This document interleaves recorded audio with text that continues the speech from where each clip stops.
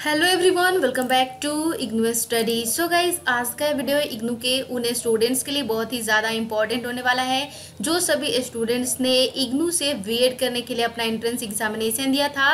8 मई 2022 को। देन उन सभी स्टूडेंट्स के लिए आज का वीडियो बहुत ज़्यादा इंपॉर्टेंट होने वाला है। सो सभी स्टूडेंट बने रहेगा वीडियो में लास्ट तक। वीडियो को बिल्कुल भी स्किप मत कीजिएगा।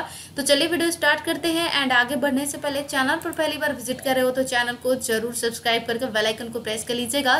बिकॉज़ आगे आपको जब इग्नू वेड में एडमिशन हो जाएगा देन इग्नू वीएड के लिए आपको असाइनमेंट सबमिशन भी करना होता है, जिसका मैं आपको सॉल्व असाइनमेंट भी प्रोवाइड कराती हूँ। इसलिए चैनल को ज़रूर सब्सक्राइब कर लीजिएगा एंड आप हमसे इंस्टाग्राम और टेलीग्राम के थ्रू भी डायरेक्टली कॉन्टेक्ट कर सकते हो। सभी का लिंक आपको डिस्क्रिप्शन बॉक्स में मिल जाएगा। तो चलिए स्टार्ट करते हैं। सो गए चलिए सबसे पहले मैं आपको बता देती हूँ कि आज के इस वीडियो में हम लोग डिस्कस क्या करने वाले हैं। तो आज के इस वीडियो में हम लोग बात करने वाले हैं जो एग्जामिनेशन आपने 8 मई 2022 को एंट्रेंस एग्जामिनेशन दिया था बीएड का एंड आपका रिज़ल्ट आया था 23 जून को, ठीक है? बहुत सारे स्टूडेंट्स हैं जो कि क्वालिफाई कर चुके हैं तो उनके मेरिट लिस्ट के ऊपर आज के इस वीडियो में हम लोग डिस्कस करने वाले हैं। सो बने रहेगा वीडियो में लास्ट तक। एंड मैं आपको बता दूँ, जो भी स्टूडेंट्स बी का एग्ज़ाम दिए हैं इग्नू से, वो सभी स्टूडेंट इस वीडियो को एक बार ज़रूर चेक कर ले बिकॉज़ इस वीडियो में मैंने डिटेल में बताया है कि आपका एलिजिबिलिटी क्या होगा।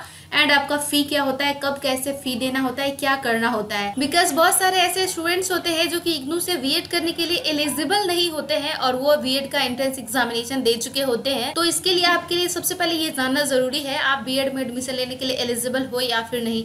पूरा डिटेल में आपको इस वीडियो में पता चल जाएगा सो वीडियो को चेक ज़रूर कर लीजिएगा। इसका लिंक आपको डिस्क्रिप्शन बॉक्स में मिल जाएगा। तो चलिए आ जाते हैं अपने टॉपिक पे एंड बात कर लेते हैं मेरिट लिस्ट के ऊपर। सो बहुत सारे स्टूडेंट्स काफ़ी टाइम से वेट कर रहे थे कि आपका मेरिट लिस्ट कब अपडेट किया जाएगा। बहुत सारे स्टूडेंट्स ने कमेंट भी किया है। लगातार कमेंट किया है स्टूडेंट्स ने कि मेरिट लिस्ट कब अपडेट किया जाएगा। सो so गाइज़ मैं आपको बता दूँ कि आपका मेरिट लिस्ट अभी अपडेट किया नहीं गया है। मैं आपको प्रीवियस ईयर का मेरिट लिस्ट दिखा रही हूँ। इसी के आसपास आपका इस बार भी कट ऑफ़ जाएगा और इतना मार्क्स होगा इसके आसपास तो आपका एडमिशन हो जाएगा। हर एक कैटेगरी वाइज अलग अलग यहाँ पर मेरिट लिस्ट निकाला गया है, जो कि मैं आपके साथ डिस्कस करूँगी आज के इस वीडियो में। सो वीडियो को कंप्लीट और लास्ट तक ज़रूर देख लीजिएगा राइट इसी के आसपास आपका इस बार का भी मेरिट लिस्ट आएगा। फाइन आप चाहे तो इसका स्क्रीन ले सकते हैं, या फिर मैं इसे टेलीग्राम चैनल पे अपलोड कर दूँगी, आप कमेंट कर देना। फाइन टेलीग्राम का लिंक डिस्क्रिप्शन बॉक्स में है। सो चलिए सबसे पहले देख लेते हैं कि जनरल का मेरिट लिस्ट का कट ऑफ़ किया जाता है। मीन हाइएस्ट नंबर कितना होता है? कितने मार्क्स वाले स्टूडेंट्स का मेरिट लिस्ट बन जाता है, कितने मार्क्स वाले स्टूडेंट्स वेटिंग लिस्ट में रहते हैं, सारा के ऊपर डिस्कस करेंगे, बस आप लोग बने रहेगा लास्ट तक। तो सबसे पहले बात कर लेते हैं जनरल कैटेगरी के मैरिट लिस्ट के। तो सबसे पहले देखिए, सबसे हाईएस्ट मार्क्स जो जनरल कैटेगरी में गया है, यहाँ पर 80 मार्क्स गया है, आप यहाँ पर देख सकते हैं। और 80 के नीचे जितने भी स्टूडेंट्स हैं, सब इस मेरिट लिस्ट में आ चुके हैं।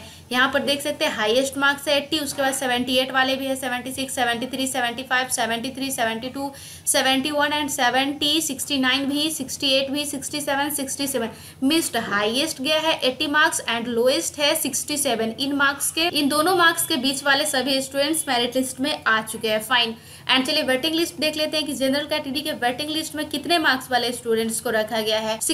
67 मार्क्स वाले स्टूडेंट्स है जो कि इतने सारे स्टूडेंट है टोटल इनको रखा गया है वेटिंग लिस्ट में राइट एंड चलिए एक एक करके सभी के ऊपर देखेंगे आगे ओबीसी का भी आएगा। इसके पहले हम लोग देख लेते हैं एसएससी कैटेगरी के लिए कि एसएससी कैटेगरी में कितने नंबर स्टूडेंट्स लेना है तो उनका मेरिट लिस्ट में नाम आ गया है या फिर हाईएस्ट मार्क्स क्या गया है। तो यहाँ पर देख सकते हैं एसएससी में गया है आपका 66 और 66 से नीचे वाले सभी स्टूडेंट इस मेरिट लिस्ट में है। चलिए देखते हैं और आगे वेटिंग लिस्ट कितने पर रखा गया है? तो 58, 56 और 56 तीन स्टूडेंट्स को वेटिंग लिस्ट में रख दिया गया है एसटी कैटेगरी के अंदर फाइन और वेटिंग लिस्ट के बाद की क्या प्रोसेस होती है वो भी मैं आपको लास्ट में बताऊँगी.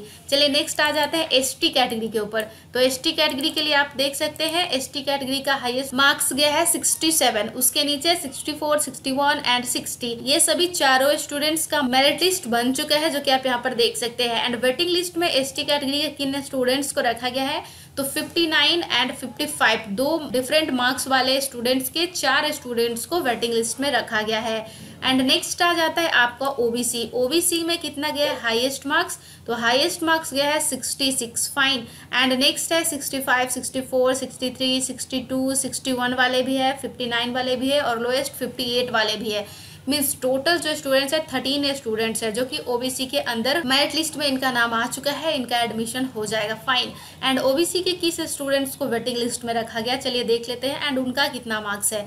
तो आप यहाँ पर देख सकते हैं ओबीसी के जो हाइएस्ट मार्क्स है वेटिंग लिस्ट वाले स्टूडेंट्स तो वो है 58 वाले 57, 55, 55, 53, 52, 52 इतने स्टूडेंट्स हैं जो कि वेटिंग लिस्ट में है टोटल एट स्टूडेंट्स है राइट एंड चलिए पीएच कैटेगरी का देख लेते हैं। तो पीएच कैटेगरी के एक स्टूडेंट्स है जिनका 67 मार्क्स है जो कि इस मेरिट लिस्ट में आ चुके हैं। एंड नेक्स्ट देखा जाए तो आगे का दो पेज जो है वो ब्लैंक है। यहाँ पर आगे पीएच कैटेगरी का वेटिंग लिस्ट नहीं दिया गया है। फाइन सो चलिए मैं अब आपको बताती हूँ ये तो हो गया merit list and waiting list तो वेटिंग लिस्ट में जो स्टूडेंट जाते हैं उनका क्या होता है। सो so गाइज़ मैं आपको बता दू, आपका जो मेरिट लिस्ट होता है, वो एक नहीं आता है मोर देन वन आता है कहीं कहीं पे टू थ्री फोर भी आता है और मैक्सिमम थ्री तक आता है। तीन मेरिट लिस्ट आपका निकाला जाता है। अगर इसमें नाम नहीं है आपका दिन नेक्स्ट में आ जाएगा। उसमें भी नहीं तो नेक्स्ट में वेट कर लीजिए। इस तरीके से आपका मेरिट लिस्ट आता है।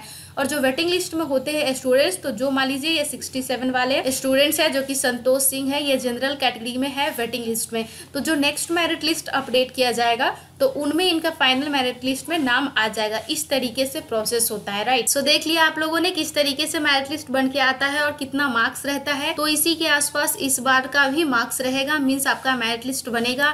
एंड मैं आपको बता दूँ डिफरेंट डिफरेंट रीजनल सेंटर की तरफ़ से different different merit list update किया जाता है। हर एक रीजनल सेंटर का अलग अलग होता है।